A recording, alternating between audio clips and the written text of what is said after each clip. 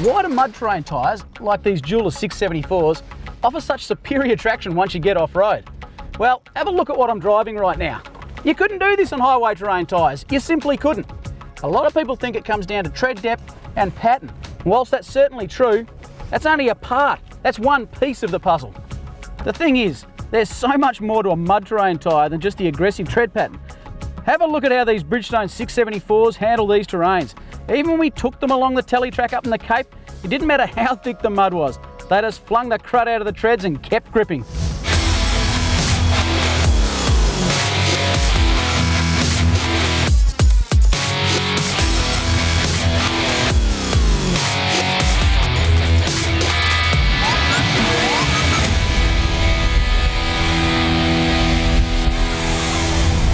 Technology really has come a long way when it comes to tyres and it's something I've seen firsthand over all the years that I've been doing this.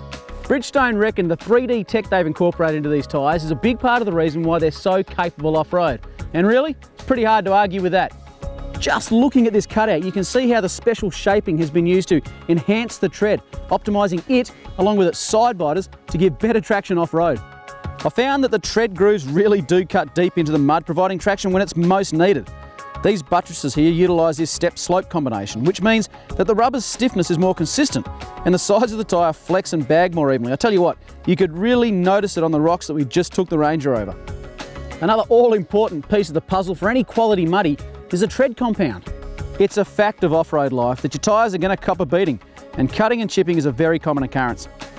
The advanced compound in these Bridgestone Duelers offers improved cut and chip resistance, which means it can cop a heavy beating off-road and still get you home safely. And believe me when I say we gave these boots an absolute thrashing.